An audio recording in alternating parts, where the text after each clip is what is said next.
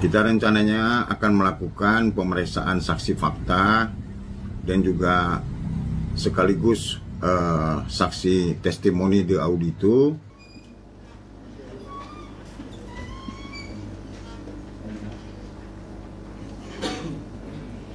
Priyadi hadir Pak ya. Bapak Erik Fernando hadir. Hadir ya. Berarti untuk tim hari ini hadir. Torga Wisnu Graha hadir ya.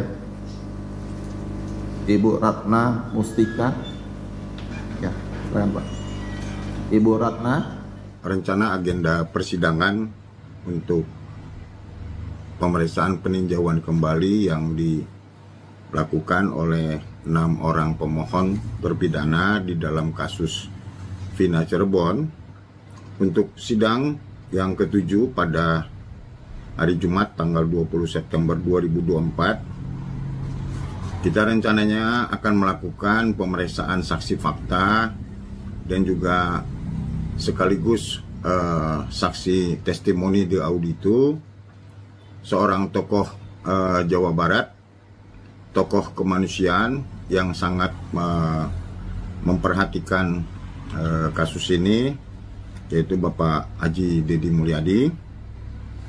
Kemudian kita akan eh, lanjutkan dengan pemeriksaan dan pemberian novum dari tiga orang rekan almarhum Eki, yaitu saudara Arta, saudara Anwar, dan juga saudara Franciscus. Untuk saudara Arta dan Anwar ini akan menceritakan bagaimana kebersamaan mereka bersama dengan kedua almarhum dan saudara Franciscus ini adalah sahabat almarhum Eki uh, pemilik helm yang digunakan oleh almarhum Eki pada saat terjadinya peristiwa. Kemudian besok kita hadirkan juga uh, ahli psikologi forensik yaitu Bapak Reza Indragiri Amril. Beliau akan memberikan keahlian keterangan keahliannya untuk memperkuat nopum-nopum yang disampaikan oleh tim hukum. Pada akhir daripada persidangan kita akan menghadirkan ahli digital forensik yaitu Dr. Rismon Asiholan Sianipar, seorang pakar IT yang akan uh, mengulas mengenai ekstraksi HP yang ternyata telah ada di dalam berkas perkara ini sejak tahun 2016 dan 2017 yang lalu. Kita harapkan bahwa pemeriksaan saksi ini dapat selesai karena memang cukup panjang dan tentunya proses peninjauan kembali ini bagi kami merupakan hal yang serius agar kebenaran